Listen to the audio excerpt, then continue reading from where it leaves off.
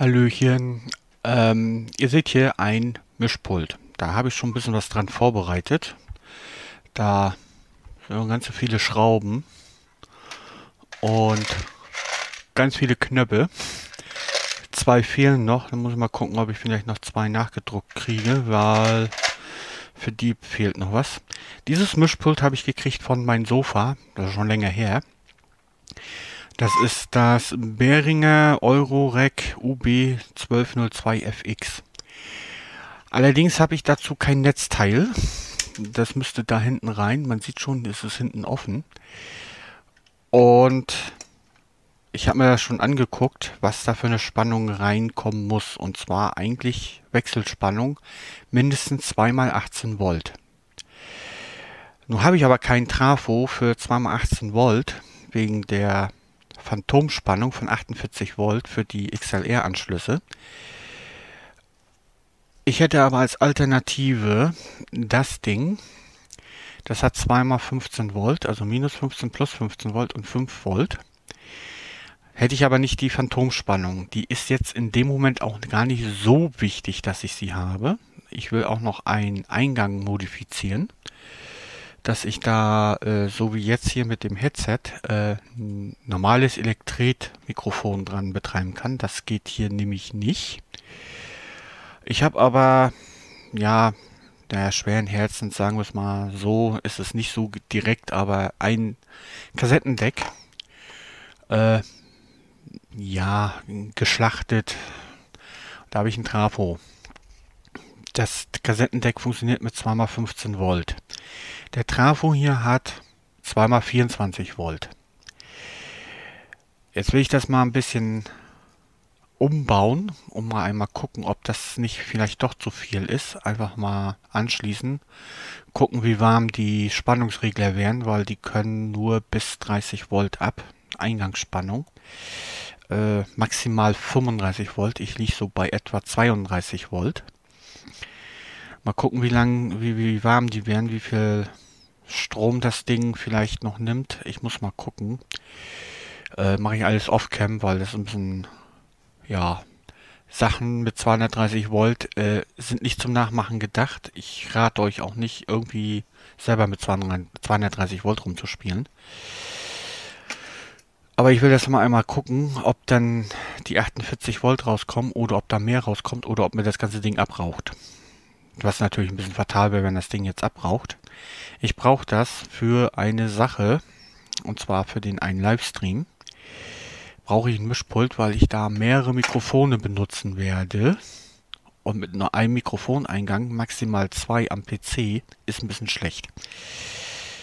Darum brauche ich das, will ich das auch wieder laufen, am Laufen haben wenn das mit den 24 Volt zu viel sein sollte, muss ich halt eben erstmal äh, mit den 15 Volt da was machen. Dann habe ich zwar noch keine 48 Volt, aber das ist ja noch nicht so schlimm. Und dann sehen wir uns wieder, wenn ich äh, neue Erkenntnisse habe. Bis nachher dann. So, da bin ich wieder. Ihr seht das schon auseinandergebaut. Ich habe es probiert. Ähm, die Spannungswandler werden extrem heiß. Es funktioniert aber. Es hätte funktioniert. Äh, ich habe mir jetzt noch die Spannungswandler angeschaut, da war vorher noch dieser Kühlkörper so dran geschraubt. Ähm, ja, seit ich die Spannungswandler gesehen, 12 Volt. Also plus 12 Volt und minus 12 Volt, also nicht 15 Volt, wie ich angenommen habe, wie es im Schaltplan zu ste äh, steht. Und ich habe noch etwas, ähm, das habe ich vor Jahren mal gebaut. Das war eine Lichtorgel. Und da habe ich auch einen 12 Volt Trafo benutzt. Mit einem 12 Volt Spannungsregler plus minus 12 Volt halt. Ja, ist ein bisschen staubig. Äh, sieht von unten so aus so und der Trafo hat hier, ich hoffe man kann es nachher sehen, 230 Volt 50 Hertz und sekundär 12 Volt und 12 Volt äh, müssten 500 mA sein mit 5 Watt. Circa 500 mA, 480 oder so. Und jetzt will ich mal versuchen, den zu benutzen. Es müsste theoretisch funktionieren. Und die Phantomspannung mit den 24 Volt Trafo, den ich benutzt habe, waren nur 46 Volt und nicht 48. Und ich meine, ähm, alles so zwischen 30 und 50 Volt so in etwa ist für Kondensatormikrofone okay an Phantomspannung. Äh, natürlich bei 30 Volt wird die Empfindlichkeit ein bisschen geringer, aber unter 30 Volt sollte es, glaube ich, nicht gehen. So habe ich das jetzt noch im Kopf. Ich meine, 46 Volt zu 48 Volt, das sind 2 Volt Unterschied, das macht nichts. Wenn nachher hier, weiß ich nicht, 42 Volt oder 40 Volt rauskommen, je nachdem, ich weiß es nicht, müsste ich austesten, mache ich nachher mal, äh, ist es auch noch okay.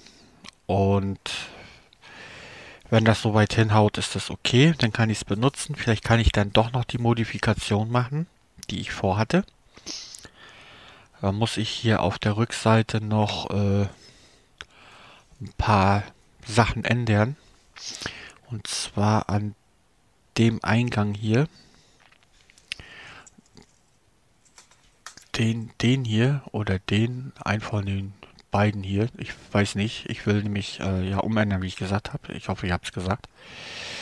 Und muss mal gucken, wie das jetzt hier beschalten ist. 10K, 10K. Äh, was haben wir hier? 4K7, 1K, 1K. Muss ich mal gucken. Ich meine, ich habe da auf dem Bild, habe ich das gesehen, wie das war. Weil wenn ich hier diesen Anschluss nehmen möchte für Kondensatormikrofone, also hier Elektret, wie Headset oder was auch immer, dann muss ich hier eine Versorgungsspannung haben von, mein PC gibt 2,7 Volt raus und ich meine, das ist von etwa 2 bis 3 oder 5 Volt sogar, was Elektretmikrofone abkönnen. Mal gucken, wie ich das hinkriege. Äh, aber erstmal das Ding soweit mit Spannung versorgen, dass es hinhaut. Wenn ich soweit bin, mache ich dann weiter. Bis nachher gleich. So, da bin ich wieder. Jetzt habe ich das ausprobiert. Mit dem funktioniert. Wunderbar, wird nicht heiß zu heiß. Und die äh, Phantomspannung äh, liegt bei 42, 42,5 Volt. Müsste ausreichen. Ich habe auch schon, weil ich keinen Stecker habe dafür, schon was gemacht. Und zwar einfach ein PS2 Buchse von einem alten Dings abgelötet und hier wieder rangelötet.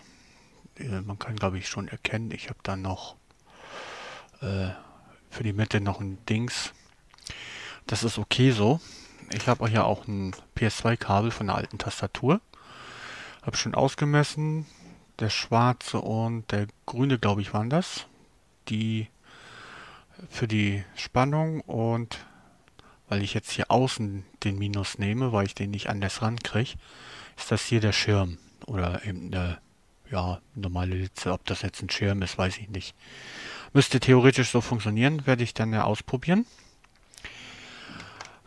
Ich werde jetzt äh, für den Trafo hier, der ist nicht eingesteckt, gut, ähm, ein Gehäuse basteln müssen und ausdrucken und dann sehen wir uns soweit wieder, wenn ich den Kasten dafür fertig habe. Okay, bis später. So, da bin ich wieder. Ja, hier liegt das jetzt alles drauf. Ich packe das mal ein bisschen beiseite.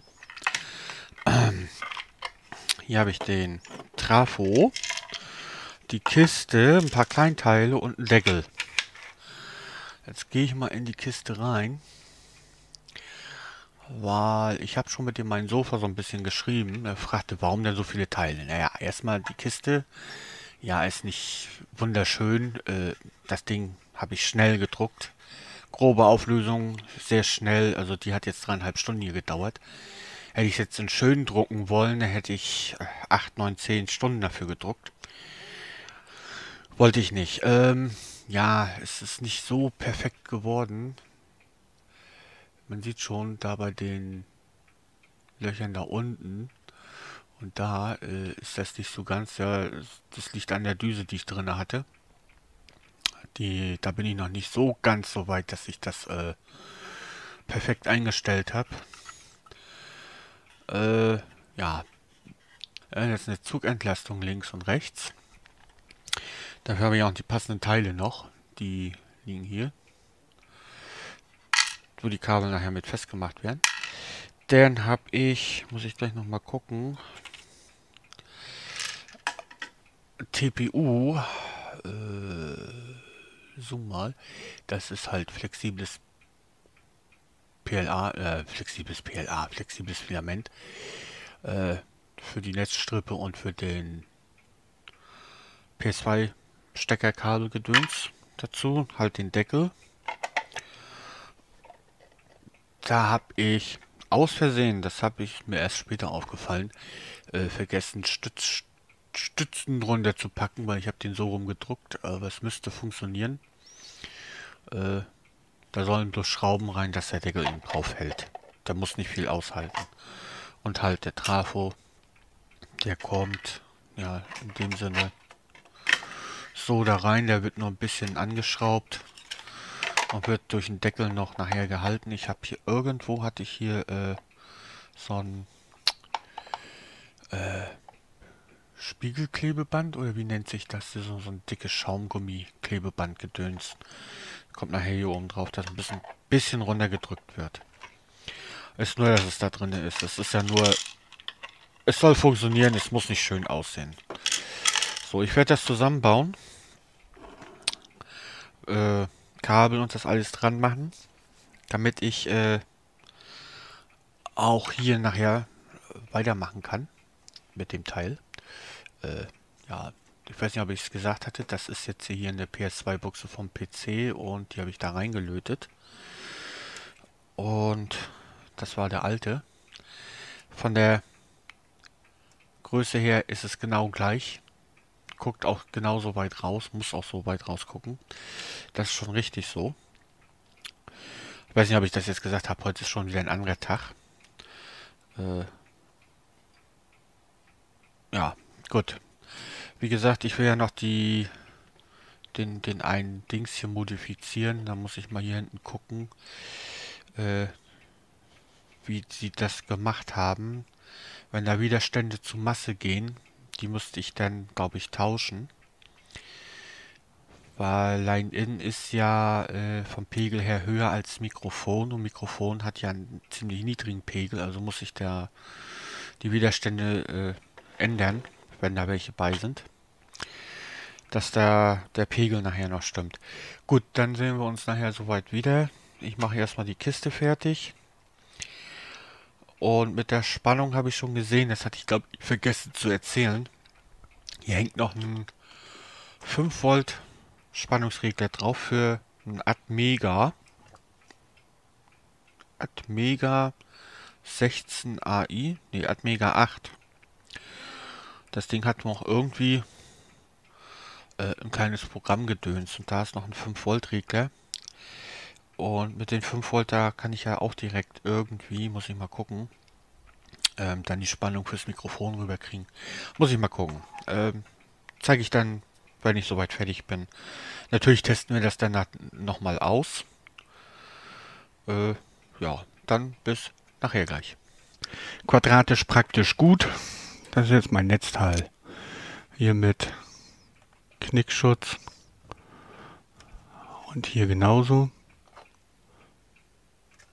Mal gucken, ob man das sehen kann. Hier vollkommen zu, zugeschraubt, da passiert nichts. Und es funktioniert auch, kann ich euch zeigen. Es hat leider keinen Schalter, das ist aber nicht so schlimm. Strom rein und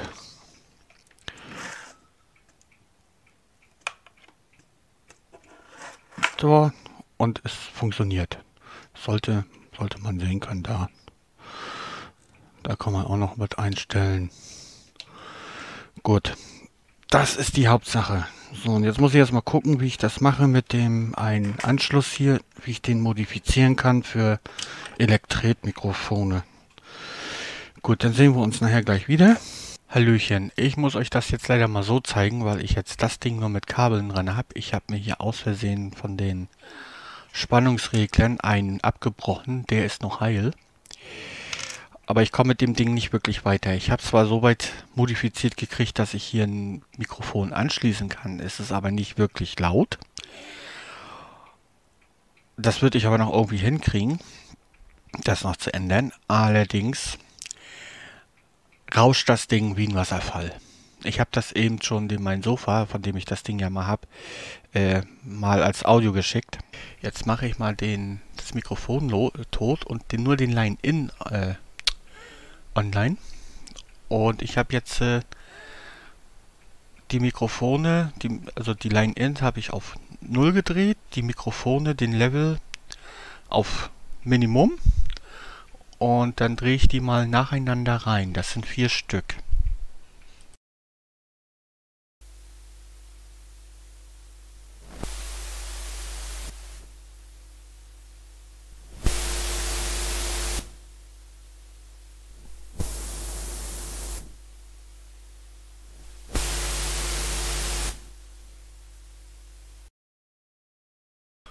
So, ich hoffe, man konnte es hören. Also das Ding rauscht wirklich wie ein Wasserfall.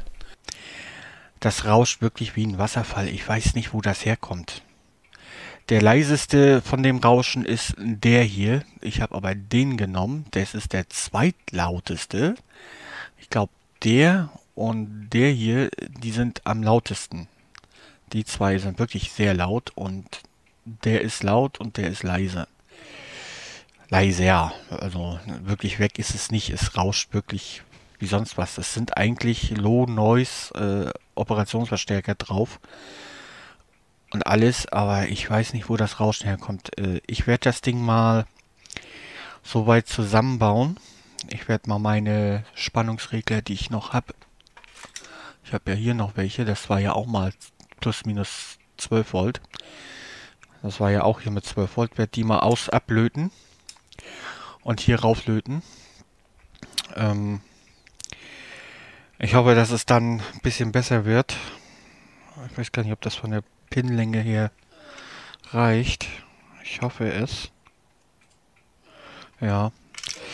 Und wenn es da mal zusammengebaut ist, nochmal gucken. Aber so wie es jetzt ist, es rauscht einfach zu doll. Kann ich so nicht nutzen. Also wenn ich mein Mikrofon, was ich für den Stream benutzen wollte, benutze, direkt am Mikrofoneingang, kein Rauschen, nix. Schöner, klarer Sound. Aber ich wollte zwei Mikrofone benutzen und nicht nur eins. Na gut, ähm, ich baue es erstmal zusammen und dann gucken wir mal, äh, vielleicht nochmal gemeinsam. Vielleicht kriege ich das noch als Tonspur rein, ich weiß es nicht. Äh, ja, funktioniert hat das zumindest mit einem Netzteil. Die Modifikation hat soweit funktioniert. Ich kann mal versuchen, sie zu zeigen. Ähm, ich habe das jetzt äh,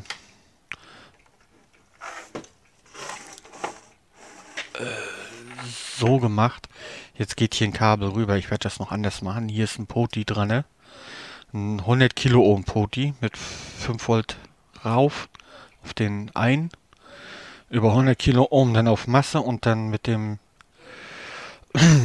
Schleifer auf den ja, Pin, wo die hin müssen. Ähm, ich habe schon geguckt, wenn, das, wenn da kein Stecker drin steckt, dann zieht das Ding 0,00 irgendwas an, an Ampere. Also wirklich fast nichts. Das ist eigentlich zu vernachlässigen. Aber es ist blöd, dass das nicht hinhaut. Hier habe ich jetzt auch noch den äh, den Cinch-Anschluss abgelötet. Muss er wieder anlöten. Ja. Blöd, das kann man ja natürlich nicht wissen, dass das Ding rauscht wie sonst was. Es ist nicht schön. Vielleicht, wenn es zusammengebaut ist, dass das Rauschen weg ist, dass das wirklich äh, an der Schirmung liegt oder was, ich weiß es nicht. Und auch an dich, Groot, nein, es sind keine toten Kondensatoren. Ich habe sie nochmal getestet teilweise, also sie sind alle noch in Ordnung. Es ist kein toter Kondensator, daran liegt es nicht. Da brauchst du nicht drüber reden, falls du da noch irgendwie was äh, sagen wolltest dazu. Äh, ja, gut. Wir, wir sehen uns nachher gleich wieder. So, da bin ich wieder. Ich habe es zusammengebaut, ich habe es getestet. Ja, es rauscht noch ein bisschen. Allerdings nicht mehr so doll. Ist nur ganz leicht. Ich baue das mal gleich auf mit äh, PC bla bla. Ob, ob das jetzt ganz synchron wird, weiß ich nicht. Ich muss gucken, wie ich das hinkriege, dass ich das alles irgendwie synchron reinkriege. Ähm, dazu muss ich das aber so stellen, sonst passt mir das nicht mit dem Kabel. Von der... Wo ist er denn? Wo ist er denn jetzt? Da. Vom Strom her geht auch wieder mit dem Netzteil hier hinten dran. Gut, äh, wie gesagt, ich mache das jetzt mal und dann werden wir sehen. Also es kann man benutzen. Es ist nicht überragend schön, aber äh, man kann es benutzen. Soll nur zeigen, äh, wie doll es rauscht. Äh, kabelmäßig. Nee. Mach dich mal lose. Äh, war ich auf dem hier. So, ich hoffe, man kann mich hören. Vielleicht kriege ich das synchron hin. Jetzt habe ich es reingesteckt. Ähm, das ist jetzt äh, ohne alles. Mit dem, ohne dem Stecker rauscht es ein bisschen. Mit dem ist ein bisschen geringer, wenn ich den jetzt aufdrehe. Und den. Und den. Den nochmal. Jetzt nochmal den. Der ist jetzt relativ ruhig. Ähm, es funktioniert soweit. Kann man benutzen. Also ich muss gar nicht so weit aufdrehen hier hinten glaube bis dahin ungefähr und dann reicht das. Das ist okay so. Gut, ist nicht perfekt, aber was soll ich machen? Geht nicht anders. Äh, ja, das war die Geschichte zu dem Ding. Ähm, ich hoffe, ihr hattet Spaß beim Zugucken. Es gibt welche, die sehen ähnlich aus der mein Sofa hat noch ein anderes, das nennt sich anders, ist aber äh, vom Aussehen völlig identisch. Warum, wieso, weshalb auch immer. Äh, das hier nennt sich Bering, Beringer, ja Beringer. Äh, was er hat, weiß ich jetzt nicht. Das ist nur farblich ein bisschen anders, aber vom, vom Aufbau dasselbe. Und ja, ich kann es jetzt benutzen. Ich kann es jetzt dafür nehmen, wofür ich es vorhatte. Äh, es kommt noch ein Video. Da wird euch auch klar werden, warum ich das brauche. Ähm, ja, das war die Geschichte. Wenn ich noch irgendwas vergessen habe, reiche ich es vielleicht in einem Update-Video nach, aber ich glaube, bis hierhin habe ich es soweit alles gezeigt. Es klappt auch mit dem Mikrofon. Zwar ist es noch nicht so laut mit den Kondensatormikrofonen, aber es ist okay. Da könnte es noch ein bisschen verbessern, aber im Moment reicht es so, so wie es jetzt ist. Die 48 Volt Phantomspannung ist jetzt hier bei etwa 42 Volt. Ich muss jetzt mal ein Mikrofon haben, was Phantomspannung braucht. Ich habe leider keins. Vielleicht hat ja einer eins über oder rumliegen und wird mir das überlassen. Wer weiß, weiß ich ja nicht. Gut. Dann könnte ich es testen. Ich habe aber auch kein XLR-Kabel in dem Sinne. Also hier Stecker, Buchse. Je nachdem muss ich ja noch ein Kabel zu haben. Äh, ja, soweit war es das und wir sehen uns dann halt im nächsten Video wieder und dann ganz bald noch wahrscheinlich in diesem Jahr noch zu dem Livestream mit dem Kassettendeck. Okay, tschüssi.